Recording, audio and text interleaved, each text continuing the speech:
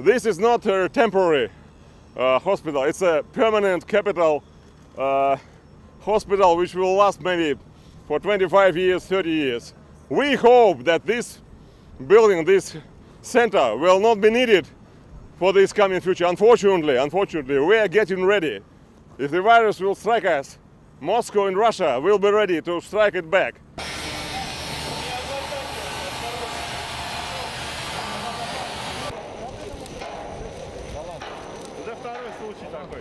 This is specific, very specialized uh, treatment for very heavy, for very heavy cases. So all them they will be brought here, and specialized personnel will be treated, will be treated, uh, treating um, patients with the uh, specific methods and approaches on very intensive therapy.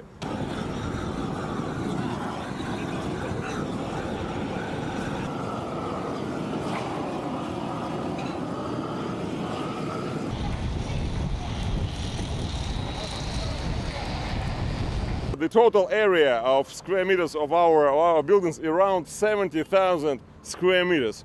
So uh, this is very intensive project. So, so we are building 24 hour a day. So around 5,000 people working right now.